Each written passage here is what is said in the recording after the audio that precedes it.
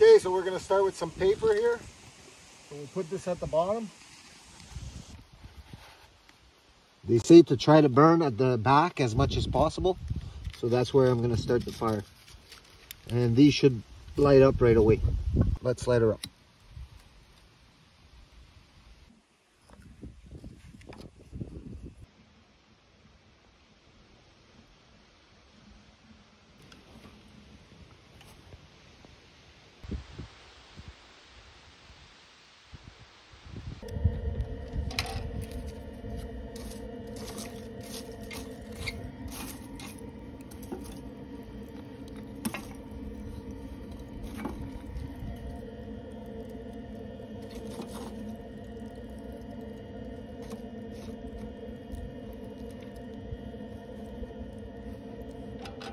You can see a little bit of the smoke coming up there.